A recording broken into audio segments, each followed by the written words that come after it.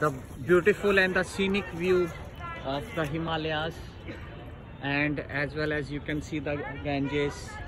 I have just taken my bath here, chanted Gayatri and did my all the evolutions. This place is very dear to me, Rishikesh. I have lost the count how many times I have visited this place. And you can see the sylvan surroundings, the Himalayas of or at the top of the hill. And this is the Gita Bhavan Ghat, I think. And this is the famous temple of uh, Kali Kamliwala. And see the water. Crystal clear water. And its view is just mesmerizing just mesmerizing view to the core and right now right now i am at rishikesh the great place of rishikesh and it's just such a overwhelming experience to be in such a wonderful place